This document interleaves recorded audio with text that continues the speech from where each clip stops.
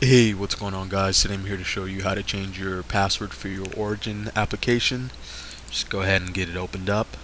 In the upper left hand corner, just hover above where it says Origin, click on that. Go to where it says EA account in billing and it's going to open up your uh, default browser, whatever that may be.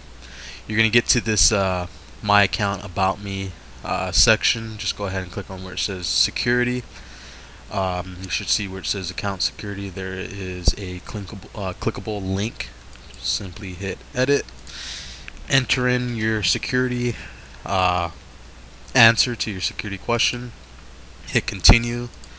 Enter your current password whatever it may be. Enter your new one. Confirm it.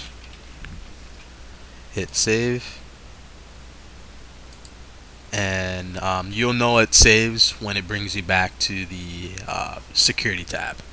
Um, it's as simple as that. Be sure to like and subscribe. Thanks for watching my channel.